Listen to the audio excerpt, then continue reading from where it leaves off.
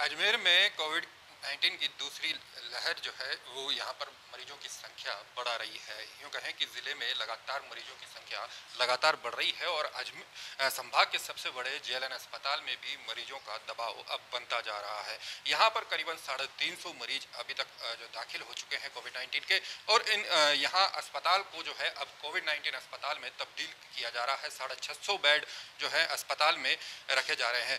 Covid की जो ये दूसरी लहर है, कितनी खतरनाक है, किस तरह से इसमें सावधानी रखनी है। ये जानने के लिए हमारे साथ इस वक्त मौजूद हैं जेएलएन मेडिकल कॉलेज के सहायक प्राचार्य सहायक प्राचार्य यहाँ पर डॉक्टर संजीव महेश्वरी जिनसे जानेंगे कि ये जो दूसरी लहर आई है कई तरह की धारणाएँ हैं सोशल मीडिया पर कि जो वेरिएंट बदल गया है, म्यूटेंट चेंज हो गया है तो ये तमाम जो चीज़ें हैं वो क्या है सर? निश्चित रूप से धारणा कुछ नहीं है, ये तो साइंटिफिक फैक्ट है कि म्यूटेंट्स हुआ है। कोई भी चीज़ जो बहुत जल्दी से तेज़ी से फैलती है, जैसे कि वायरस है, ये एक से लाखों होने में कुछ समय लगता है, कुछ भी समय। मतलब इनको कहते हैं, हमको घंटे लगते हैं। हमको एक से दो होने में महीनों लगते हैं, उनको एक से लाखों होने में कुछ घंटे लगते हैं। जो चीज़ जितनी तेज़ी से म्यूटे पनपती है, उतनी तेज़ी से म्यूटेट होती है। म्यूटेशन शब्द का मतलब यह है कि अपनी प्रकृति बदल लेती है। इस वायरस ने भी अपनी प्रकृति बदली है और इसको हम जब जो नाम दे रहे हैं, डबल म्यूटेंट। डबल म्यूटेंट का मतलब ये कि इसकी संक्रामक क्षमता भी बढ़ गई है और इसकी मारक क्षमता भी बढ़ गई है। संक्रामक क्षमता शब्द का मतलब ये है कि ये पहले एक से दूसरे को जितनी जल्दी से जितनी तेज़ी से इन्फेक्ट करता था, उससे कहीं गुना तेज़ी से ये डबल म्यूटेंट वेरियंट उसको अफेक्ट कर रहा है। मरीजों में बहुत, लोगों में बहुत तेज़ी से फैल रहा है और साथ ही साथ ये घातक भी है। पुरानी जो वेव थी, पुरानी लहर थी फ़र्स्ट वेव थी, उसमें हमारा एक्सपीरियंस था कि जो बुज़ुर्ग लोग हैं, जो बहुत मोटे लोग हैं, जिनको कोई दूसरी बीमारी है, वो लोग अफेक्ट हो रहे थे। अनफॉर्चुनेटली इस वेव में जिन लोगों को कोई भी बीमारी नहीं है, जो रिलेटिवली जवान हैं, उनको भी फेफड़ों में संक्रमण काफ़ी तेज़ी से हो रहा है, वो हम देख रहे हैं। तो ये एक अच्छी बात नहीं है, ख़तरनाक बात है। और दूसरी बात जो मैं पहले भी कहा कि हम लोगों में स्लैकनेस आ गई है, थोड़ी शिथिलता आ गई है। पहले हम अनुशासित थे, पहले हम ध्यान रखते थे, अब हम लोग बहुत स्लैक हो गए हैं, बहुत शिथिल हो गए और इसका खमियाजा हमें भुगतना पड़ रहा है। देखिए, कोई भी चीज़ होती है, उसका सिस्टम की कैपेसिटी होती है, किसी भी चीज़ की एक लिमिट होती है।